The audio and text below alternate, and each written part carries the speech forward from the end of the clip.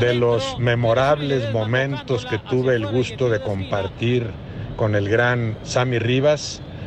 Este fue, sin lugar a dudas, el mejor de todos. Aquí viene Gómez Junco. Acompaña también Jaime Pajarito. Balón para el lado derecho. Rivas tira y la pelota adentro. Gol del Guadalajara. El Guadalajara está anotando aquí por conducto de Sammy Rivas.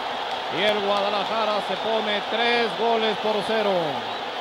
Esta es la jugada en la cual Sammy Rivas está disparando a toque de Roberto Gómez Junco para vencer al portero Héctor Miguel Celán.